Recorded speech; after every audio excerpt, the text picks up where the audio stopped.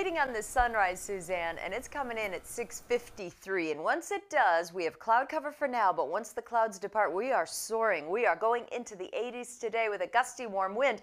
Tonight, a cold front comes in. That's going to change things and drop us to the 70s for tomorrow. And then beginning next week, it looks like Monday we have temperatures back to where they should be in the upper 60s. But you know that it doesn't last. We are going to continue the warming trend as we go day by day this week. So cloud cover with us this morning may try to hang around till lunchtime, but after that, we're really going to clear out beautifully and much of the afternoon and then heading into the evening will be generally clear. Current temperatures though, right now, 62 Waukegan, we have 58 degrees in Aurora, also into Morris, 59 in Ottawa.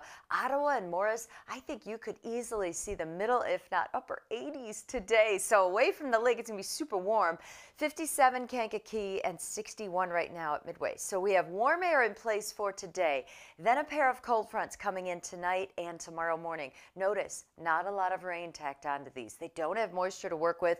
They will be shifting the winds, so it will be windy behind the fronts. And then we start pulling in that cooler air mass. So by Monday, a ridge of high pressure sets up over Iowa. Winds coming around this high really set up that northerly wind component for Monday, pulling in the cooler air. In the meantime, today is just like summer. 81 for the forecast high.